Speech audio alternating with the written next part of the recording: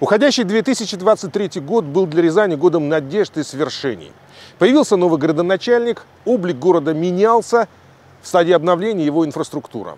Из Москвы на улучшение жизни рязанцев денег по-прежнему много. Впрочем, все это всего лишь фон основной повестки, которая сегодня, естественно, в зоне проведения специальной военной операции – в этом смысле Рязань тоже отличилась. Тысячами тонн уже исчисляется гуманитарная помощь, отправленная в зону СВО. Печки, инструменты, одежда, продукты, официальных каналов поставок и неофициальных сегодня десятки. Часто собирали всем миром. Депутаты всех уровней, общественники и просто неравнодушные жители Рязанской области. Кроме того, двухнедельную вахту в Луганск сделали и для рязанских волонтеров. Это группа, которая будет э, задействована э, в деятельности в госпитале.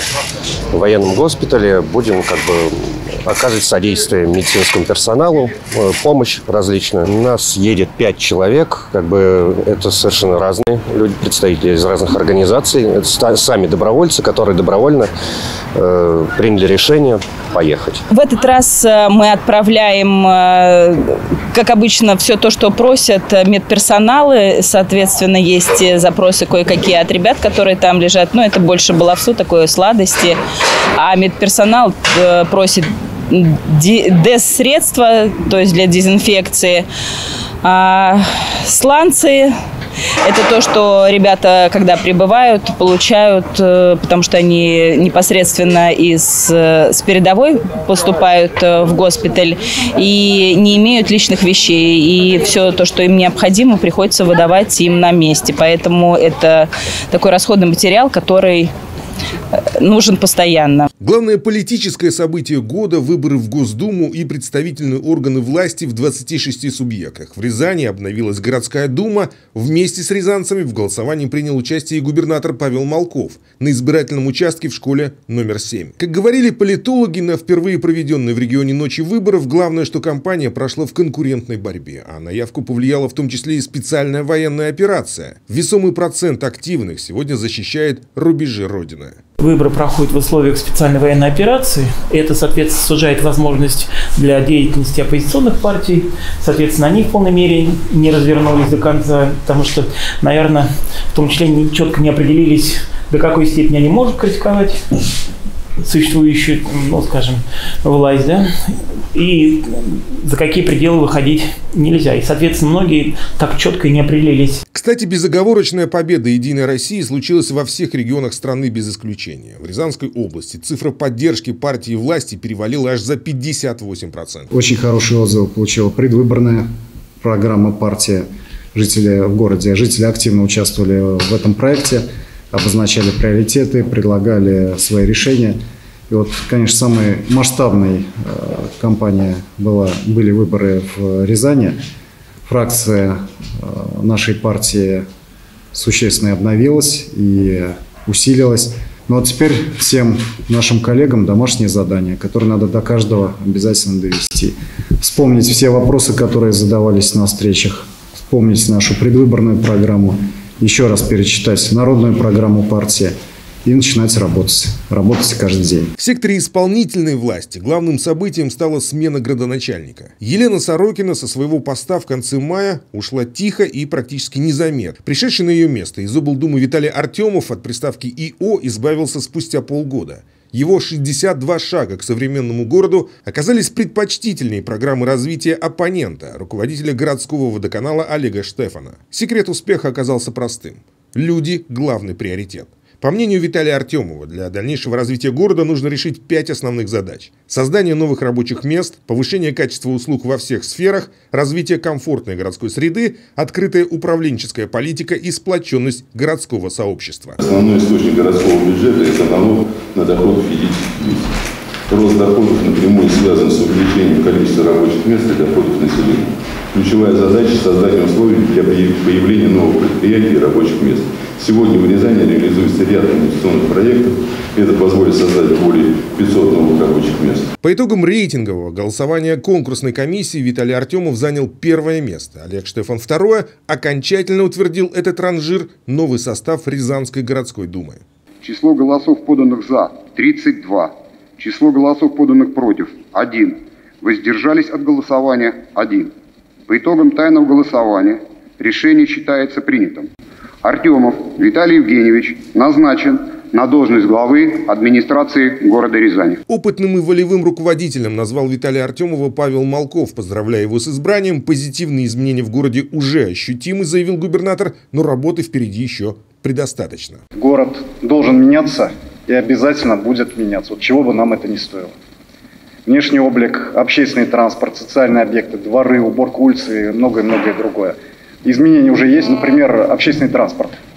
Давно об этом говорим, сейчас уже меняется но нужно и дальше серьезно, системно этим заниматься. Системное обновление городского автопарка в 2023-м – это новые троллейбусы, автобусы, дополнительные машины скорой медицинской помощи, а также категорическое увеличение уборочной техники. А еще в этом году менялся облик города. Появилось большое количество новых объектов, например, спортивных, закончены долгострои. Впрочем, вся эта история еще не завершена. В 2024-м сюрпризов будет тоже много. Резонансных событий с криминальным шлейфом в этом году тоже хватало, хотя основная статистика преступлений говорит, что цифры идут вниз. Все мы их вспоминать не будем, остановимся только на ярких моментах.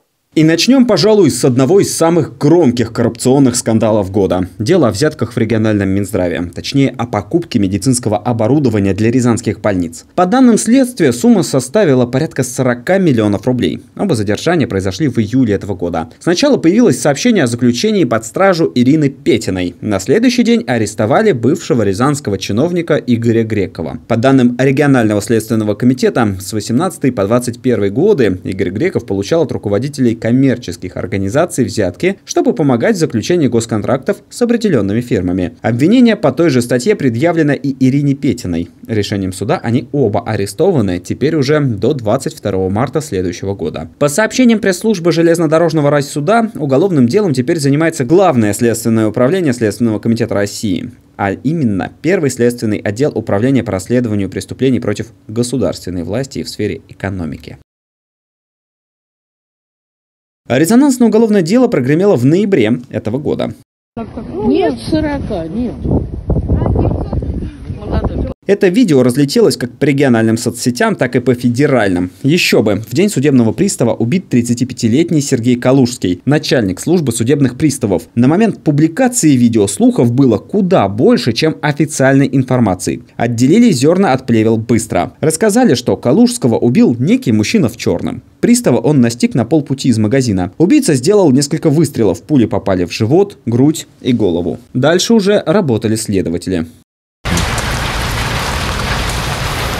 Из ориентиров одет во все черное, из мотивов практически все, что угодно. От профессиональной деятельности, месть коллекторов или должников до личных мотивов. Справились в кратчайший срок. Убийство Калужского произошло 1 ноября. Предполагаемый стрелок задержан 4. По информации следствия, мужчину зовут Сергей Ананикян, ему 43 года, армянин. В Рязань приехал в начале нулевых. Далее информация из открытых источников. Женился на сотруднице Управления Федеральной службы судебных приставов по Рязанской области. От брака осталось двое детей. Любопытная деталь. Начальник бывшей жены Ананикяна был как раз убитый Сергей Калужский. 1 ноября 2023 года произошло убийство начальника отдела судебных приставов по городу Рязани и Рязанскому району. На место происшествия выезжал прокурор Рязанской области и профильный заместитель. По информации рязанских СМИ, к убийству Ананикян готовился около месяца. Купил велосипед, спецодежду и стал изображать из себя придомового дворника, чтобы жильцы дома привыкли к нему и не обращали внимания. Параллельно изучал маршрут передвижения Калужского от дома до работы.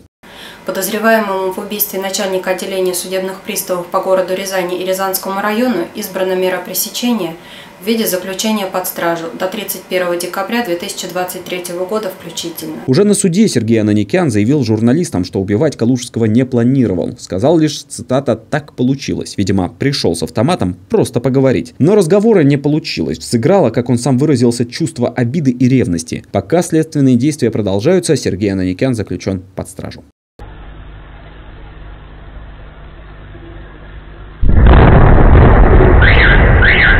Как этот хлопок стал причиной, по которой 19 вагонов грузового поезда сошли с рельс. Произошло это на перегоне Рыбная Блокпост в нескольких километрах от этой камеры домофона, на которую и сделана запись. Вот вагон.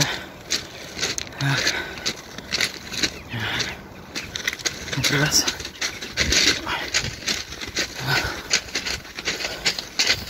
Вот, тоже сошел. В этих вагонах перевозили минеральные удобрения. Пострадавших и погибших не было. Не было и угрозы экологии. В связи со сходом вагона грузового поезда в Рязани Московской межрегиональной транспортной прокуратурой организована проверка исполнения законодательства о безопасности движения и эксплуатации железнодорожного транспорта.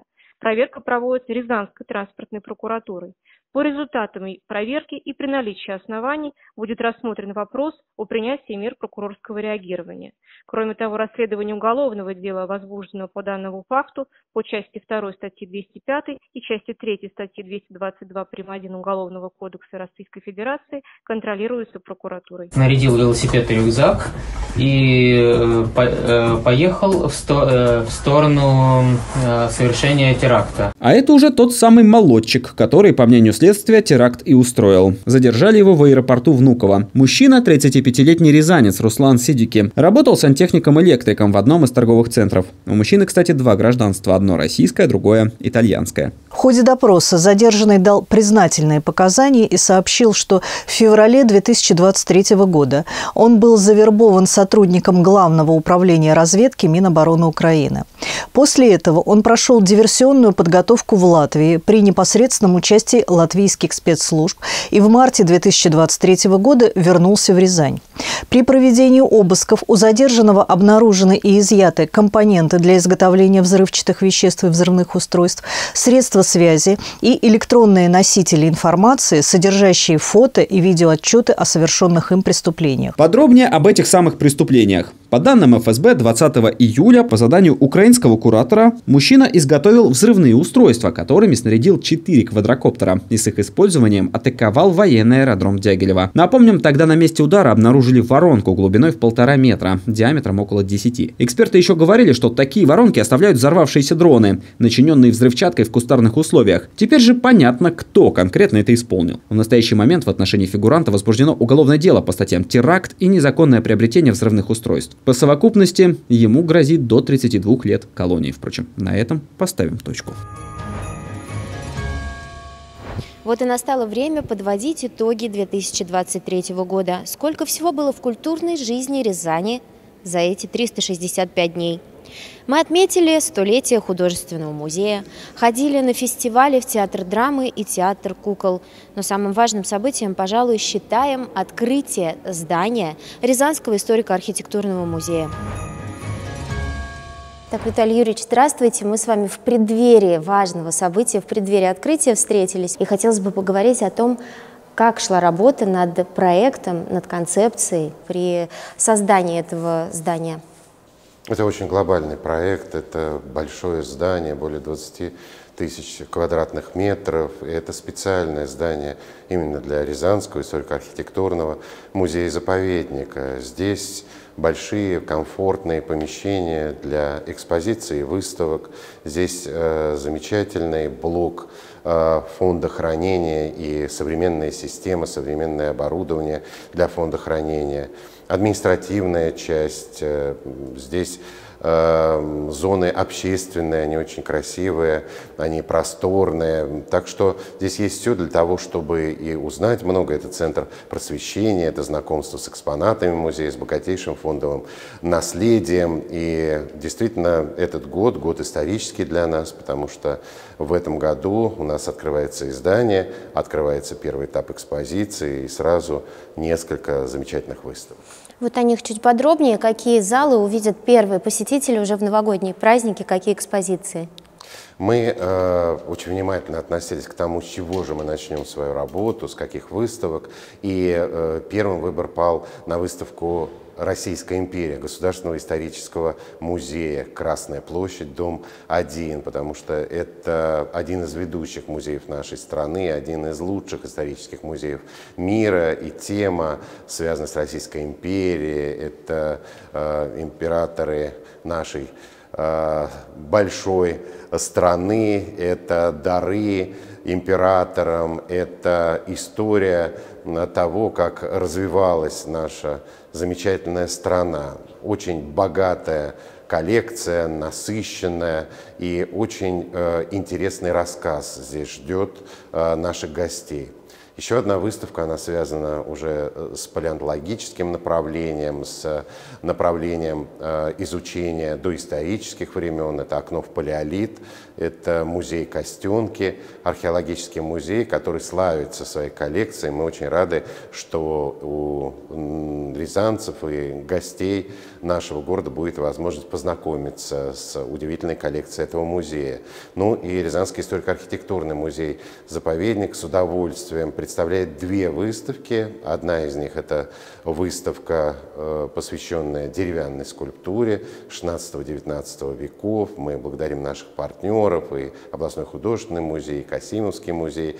И выставка, посвященная Старой Рязани, э, нашему стольному городу, первому. Э, эта выставка в партнерстве с автономной некоммерческой организации «Старая Рязань», и это выигранный грант президентского фонда культурных инициатив. Выставка рассказывает о мирном городе и о трагедии, произошедшей в 1237 году. Так что вот такие выставки будут встречать. Надо обязательно сказать, что в экспозиции «Космос» у нас откроется еще одна выставка, посвященная нашему великому земляку Владимиру Викторовичу Аксенову, герою Советского Союза, дважды герою Советского Союза, летчику-космонавту СССР. Более 300 личных вещей и фотографий, в том числе из космоса, было передано им в наш фонд, и мы с радостью делимся этим с нашими гостями.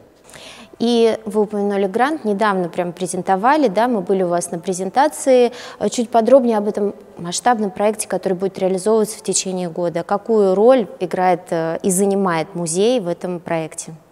Мы э, партнеры, э, надежные партнеры автономной некоммерческой организации «Старая Рязань». И э, наши предложения, они вошли в программу этого гранта. Это и научная конференция, которая прошла совсем недавно, в начале декабря. И мы гордимся теми авторитетными учеными, которые принимали в ней участие.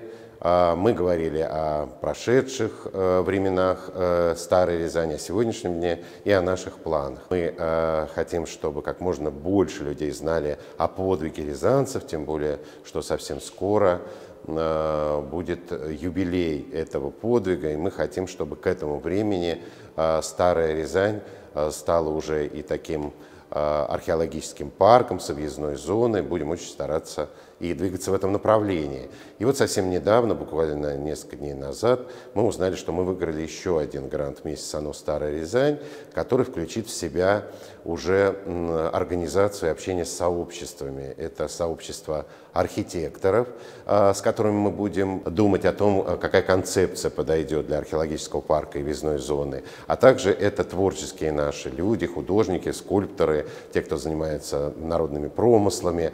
А, на тему Старой Рязани, ее истории, прошлого, настоящего будут присылать нам работы, и мы узнаем об этих победах уже к фестивалю, посвященному Старой Рязани летом следующего года. Без сомнения, открытие музея, который строился 8 лет, это главное культурное событие года, поэтому предлагаю вам, наших телезрителей, пригласить на новогодние праздники посетить ваш музей. Дорогие друзья, действительно большое событие происходит прямо сейчас в нашем древнем городе. Открылся музейный центр Рязанского историко-архитектурного музея-заповедника. И это центр для вас, потому что он о потрясающей истории Рязанского края, он о нашей культуре. А, это центр выставочный, и здесь будут ведущие музеи страны выставлять свои самые лучшие выставки. Здесь будет работать центр для детей. Удивительная экспозиция, посвященная космосу, естественно, научная экспозиция. Здесь заработает планетарий, и мы узнаем о многих тайнах Вселенной. Ну а свое путешествие вы начнете с удивительного атриума, с огромным панно по рисункам Циолковского и с макетом нашего города. Все рассказать невозможно, мы вас очень ждем, приходите в гости. Главное новогоднее чудо ожидает рязанцев и гостей областного центра в лесопарке. Ведь именно здесь находится резиденция Дедушки Мороза. Кстати, организаторы мероприятий лесопарка обещают, что программа будет интересна гостям любого возраста. Новый год – праздник семейный, а лесопарк по аналогии – семейный парк. Обширная программа на зимние каникулы придется по вкусу и рязанцам, и гостям областного центра. По словам организаторов мероприятий, волшебство здесь начнется уже с 23 декабря. По традиции в этот день стартует новогодняя деревня в лесопарке. С 23 числа и по 7 января мы работаем для вас, чтобы создать праздничное настроение и интересный досуг для жителей и гостей нашего любимого города. Выходные будут только 31 и 1 января, чтобы все могли провести время с семьей в привычной уютной домашней обстановке. Мы ждем гостей, мы приготовили для вас различные мастер-классы, анимации, спортивные развлечения для всей семьи. Фестиваль «Выходи гулять» с зимними забавами. Семейный забег название самого ловкого и умелого. Пока что, понятно, организаторы не раскрывают всех карт, чтобы не испортить сюрприз. Ну и, разумеется, самое главное событие зимы в лесопарке – это открытие резиденции Деда Мороза – Здесь же ежегодно по традиции с 1 декабря начинает работать почта главного волшебника страны. Любой желающий может отправить письмо Деду Морозу прямо в лесопарке. Писем с каждым годом становится все больше, чему мы, безусловно, очень рады. Это значит, что жители нашего города, а может быть и его гости, действительно верят в сказку и ждут волшебство. А, по предварительным подсчетам, в среднем около двух тысяч рязанцев присылают Дедушке Морозу свои надежды, мечты и добрые пожелания и поздравления с Новым годом. Песни, пляски и хороводы. Мероприятия в лесопарке запланированы на все новогодние каникулы. Интерактивные и анимационные программы с участием сказочных персонажей и творческие конкурсы. Уважение, верность, любовь и дружба. Рязанскую ВДНХ украшает не только новогодняя атрибутика, но и символы семейных ценностей – Концепцией праздника вновь открывшегося в этом году торгового городка стала советская эпоха. Настоящая зимняя сказка в ретро-стиле для детей и взрослых. Торговый городок, или как его теперь называют Рязанская ВДНХ, в этом году обрел второе дыхание. Именно поэтому новогодняя атмосфера здесь продумана до мелочей. Торговый городок украсили более 160 елок, и мы сделали настоящий елочный красивый парк. А вся композиция, она посвящена у нас году семьи, так как 2024 год объявлен президентом годом семьи. А, главная елка, 15-метровая наша красавица, она украшена советскими как раз атрибутами и мандаринами, и советскими такими посылками, конфетами, чтобы люди могли вот вспомнить вот ту эпоху, воссоздать то, то, то настроение замечательное. Каждый день до 30 декабря здесь работает фудтрак. С 4 до 8 часов вечера любой посетитель совершенно бесплатно может попробовать вкусные пирожки и горячий чай после прогулки по новогоднему городку. Со 2 по 8 января рязанцев и гостей областного центра ждут на анимационные представления с Дедом Морозом, Снегурочкой и их волшебными помощниками. Интерактивные мероприятия в торговом городке будут с 4 до 8 вечера, а в футраке на новогодних каникулах появится еще и безалкогольный глинтвейн. Кстати, в украшении торгового городка рязанцы приняли непосредственное участие. В декабре этого года мы запустили акцию по сбору советских игрушек. Все рязанцы, а, которые хотели поделиться своими семейными историями и ценностями, которые связаны с Новым годом в виде таких раритетных игрушек, могли приносить их а, к нам в резиденцию традиций.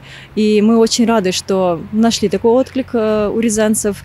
И теперь в нашем креативном кластере может, можно увидеть такую елку. В резиденции традиций в новогодние праздники пройдут мастер-классы. Посетители смогут освоить технику шиловской лозы и изготовить памятные сувениры своими руками. Новогодний экспресс, мастер-классы и иммерсивная программа. В эти праздники Рязань превратится в настоящую советскую сказку. А это значит, что в чудеса поверят не только дети, но и взрослые. Концепцию новогодних мероприятий семейного формата реализуют и на Лыбецком бульваре, который станет еще одной тематической площадкой в праздничные дни. Он сегодня уже украшен, подсвечен различными инсталляциями. И в период со 2 по 7 января на площадке Лыбецкого бульвара будут проходить интерактивные программы для детей. Они, значит, они будут проходить каждый день с 15.00, а в 16.00 будет организована концертная программа с участием артистов э, города Рязани, различных кавер-групп, которые в том числе выступали этим летом на улице Почтовой, которые полюбились рязанцам и гостям нашего города. А еще на Лыбецком бульваре в январские дни заработает мастерская снеговика. Здесь можно отогреться после долгих прогулок по городу, сделать семейные фотографии и сотворить своими руками поделки на различных мастер-классах. По улицам города сейчас уже курсирует новогодний экспресс, и горожане уже, может быть, заметили веселых музыкантов, которые создают вот это новогоднее настроение. А со 2 по 6 э, января этот новогодний экспресс превратится в такую иммерсивную площадку, э, где также горожане могут поучаствовать э, в интерактивных программах, вспомнить песни советского периода, фильмы советского периода, потому что в этот период как раз-таки формировались те традиции празднования Нового года, которые вот нам сейчас всем так знакомы. Провести время с самыми близкими людьми и получить заряд позитивных эмоций. Все это можно сделать на новогодних праздниках. С каждым годом программа мероприятий все семейней, а значит весело будет не только детям, но и взрослым.